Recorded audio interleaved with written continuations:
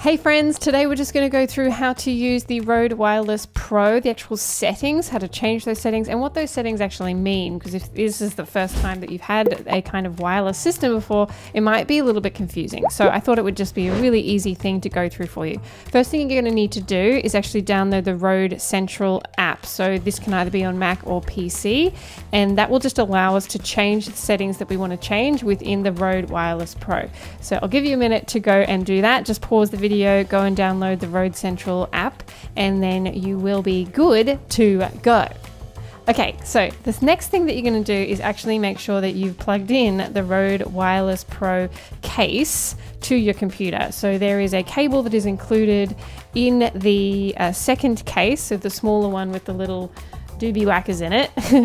that has a cable that will attach your ca- your other case with the microphones and the you know transmitter and receivers in them to your computer. So plug that in, and then once you're there, you'll be able to access this Rode Central app.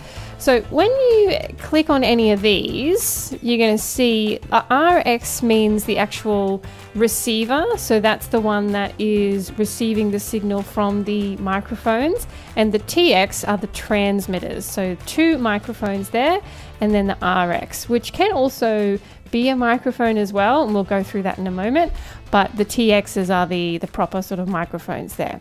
If we start with the Rode Wireless Pro, the actual RX system, you can see there's some settings and things that you can change here straight up.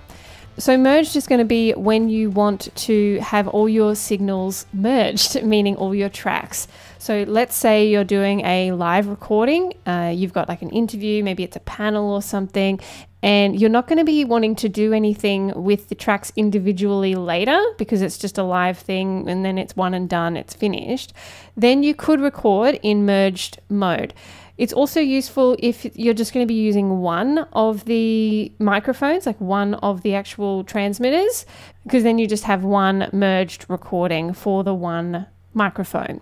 That's kind of the only reasons why you would use it. If you don't want individual track capabilities, if you're not going to do post production, or you don't need it to be split, then you would do it in merged mode. You can see it's giving you two options there. It's either going to have TX1 and 2 merged or TX1 and 2 plus a headset. With the actual receiver, there is actually a little like headphone jack at the top of the receiver, which you can actually input a headphone kind of um, device as well. Meaning that if you've got like a headset with a microphone, you can plug that into that and have that extra headset as well as a microphone as well using the transmitters. So that's why they have that there. But in this case, it's all going to be merged into the one file anyway. So no matter how you do it, you're just getting one track out of it. Split. Split is when you have a left and a right track, and you can see it's TX1, TX2. That's because there's two transmitters, TX1, TX2. So this is really good if you're doing an interview, if you're recording someone else and you're the host, or you're wanting to do any kind of post production afterwards. You'll have individual tracks to play with. This is really the only way that we record here at Bamby Media because we are always pretty much having multiple people using our devices. So we are doing interview style on location for podcasts. We then have individual split tracks, which we can then finesse in the back end separately especially because sometimes it's not ideal, like the person's not sitting far enough away from the other person, you have some mic bleed, you have some issues. You want to try and control those. That's why it's really important to have that split mode being available. And then if we look at this uh, you know, this little headphone jack thing again, it does have the option there for split. With that one, you would have track one and two merged and then the other track, the right on the right, would be for the headphone jack. I don't know a lot of use cases for having a headphone like headset thing attached as well. If you're wanting multiple people, you're wanting to try and get three out of it, I suppose, but I haven't really seen that in the field really. It's mostly just TX1, TX2, then you can split them and it's easy. Now, the other thing you can do here is you can have a safety channel engaged. So the safety channel though is only used in merged mode. You can't get a safety channel for split mode. Safety is essentially if you're anticipating that you're going to be struggling with dynamic range, so let's say you're maybe you're recording at a live event, or there's going to be like super loud clapping, or there's going to be loud noises and things that you can't control. If you have the safety on, then you're recording everything in one track as one merged track, but the safety is actually doing another channel that is 10 dB lower so that you're not peaking, you're not clipping. So you've got like this extra track that is super low. Well, not super low, 10 dB isn't that low. Then you can potentially make some fixes in post production if you've had some dynamic range issues. They're the main ways that you would record. And as I said, merged would be if it's just you solo. Okay, you just one microphone. You don't need it to be split because it's just you using one microphone anyway. You can just have it as merged. Or if you're doing a live panel, live recording, you're not going to do post production. Split is if you want the capabilities, the customization to actually post produce. So, one track, two track, bring them into your DAW, EQ, compress, do what you want to do separately. That's the best way to do that. And then safety, if you're going to be having issues where it's not going to be possible for you to control the environment, the loudness of that environment. So, you want to have a safety track as well. They are the main three ways that you can record. Now, I'm going to keep ours at split because that's how we always do it.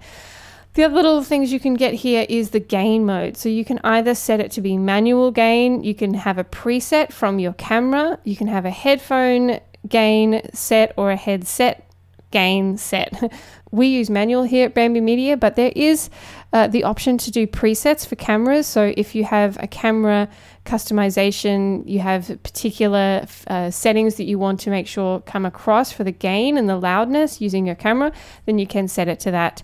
Uh, they are the main two that really are useful, but again, I just set it to main and then I can use the output gain here. I can amend it to be down lower if I want to make sure that it's not, it's definitely not going to be clipping. I could set my output gain to be lower, but I just leave that set at zero. The other things we have here is just the dim light, the actual backlighting. So this is just an aesthetic thing, whether you want the light to be there or not, then that is something you can change. The record, the actual function of the button on the RX, what it does, there's a few different options there. So you can either make it set to be a marker. So let's say you're recording something and it's a really good podcast recording there's two speakers and they say something really interesting you could set the button on the rx to be a marker so that it sort of imprints a, a timestamp of that moment uh, so as you're recording, you've got these sort of timestamps later on that you can use. That can be useful, uh, but again, we don't find it necessary for our purposes. We do like to have it be a function that it's it's a record button, so that if you're uh, out and about and you just want to make sure that everything's recording, you can hit that record button there, and it will make sure that everything is recording on the devices as well. So that's that.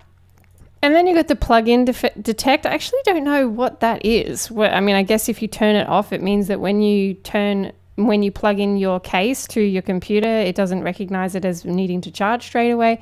I actually don't really know what that one is. So if anyone knows, and I couldn't really find any information on that. But anyway, I just leave it on.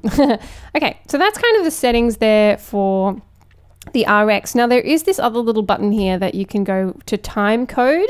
So if you're using a camera, then you can set it up that the time codes match. This means, and I might be getting a little bit too far into uh, camera and video production here for some people. Essentially, it just means that if you are using a camera and you're using this system here so that when you go into your DAW, the time codes match so that the syncing of the audio with the video is very simple.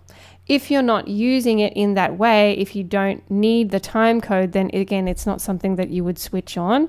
If you know your camera's frame rate and you would put the frame rate settings in there, you would change these settings if you were using a camera. I'll do a separate video. If you want to know more about time coding and the Rode Wireless Pro, then just put a comment in there that you'd like that as a separate tutorial, and then I'll get our video production team to just run you through that in a separate video as well. All right, let's move on to the Rode Wireless Pro TX, so the actual transmitters. This is the microphones. You can see here, I have a lot of recordings here that we've done on the Rode Wireless Pro. These are internal recordings that we've actually recorded on the device itself, and then they've come through as separate sessions there. So we have individual tracks for each of these, and then when we want to export them out, let's say it was these two, you would then go over here and you can export. So you can change it to be a custom format, whether you're going to be sharing it to Spotify, uh, iTunes, SoundCloud, etc. Again, I just use it as custom. The format always in WAV file because that's the highest quality audio file to play with. 48 kilohertz again is just a higher sample rate, which is good to use if you can. And then the 24 bit PCM is the standard bit depth. 32 bit float gives you more customization uh, if required. And these have been recorded in 32 bit float. So we could export them out in that way for the bit depth as well. 32 bit float compatible video and audio software is listed here. So we've got DaVinci Resolve, Adobe Premiere Pro, Final Cut Pro, Reaper, Ableton Live, Audition, Audacity, and Pro Tools. Most people will just go Wave, 48 24 bit. The loudness you can set to export out at a certain loudness level, but because we do post production anyway, I don't want to mess with that. I want it to just be something that we mess with on the other end when we're doing our post production. Okay, so that's in the actual export phase, the things that you can change. Now, if we go to the actual settings for this one, the TX, and we're going to say this is the TX1, then you can see there are some adjustments that you can make to the actual microphone.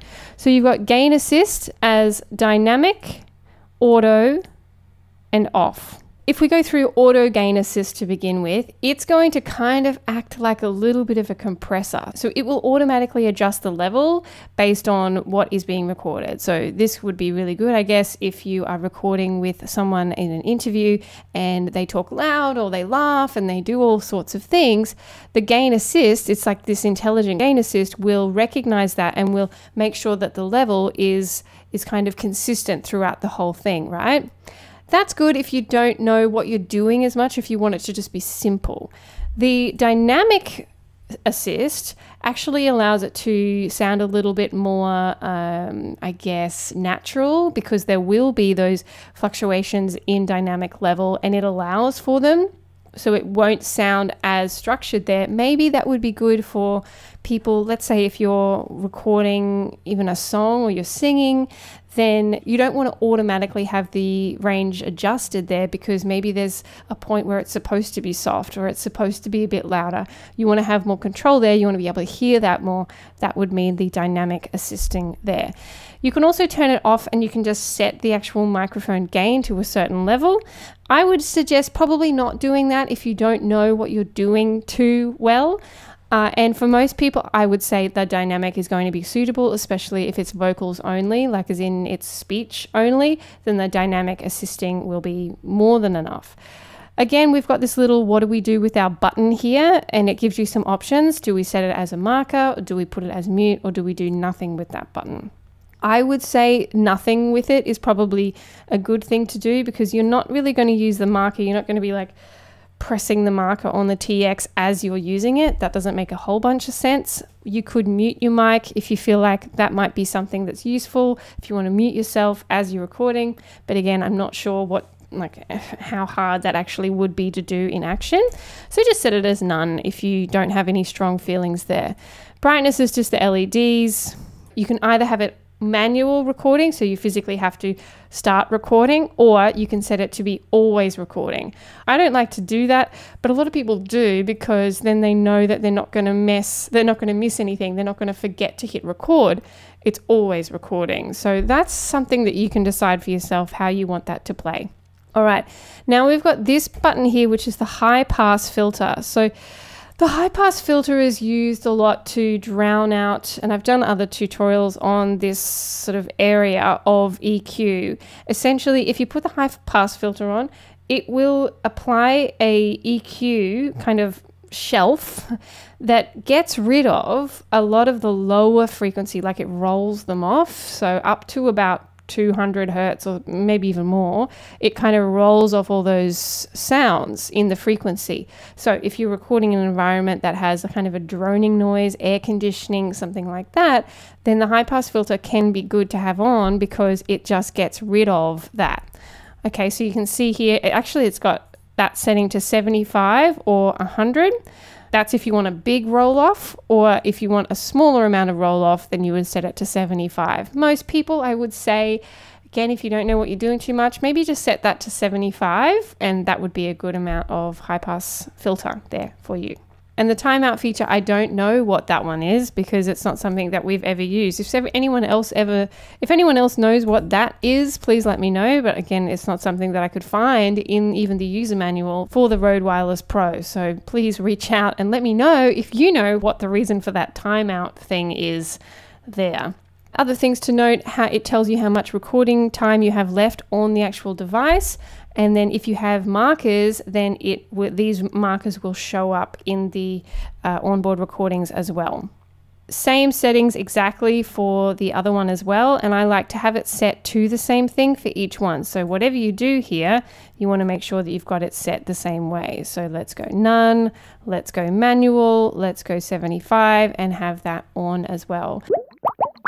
So that's the main things you're going to need to know about the Rode Wireless Pro system most of the time, I would say it's something that you would record in split mode, have your gain set as manual, and then in your actual settings for your individual things here, make that set to auto. For the novice, this is going to be the easiest way to do it. If you want more control, shift that to dynamic and you'll be able to change some other settings there.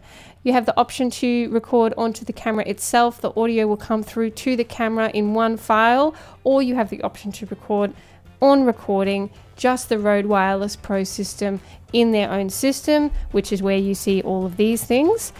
That's really good if you're not using a camera at all, you're just recording audio, you can just do it this way and it makes it really, really simple.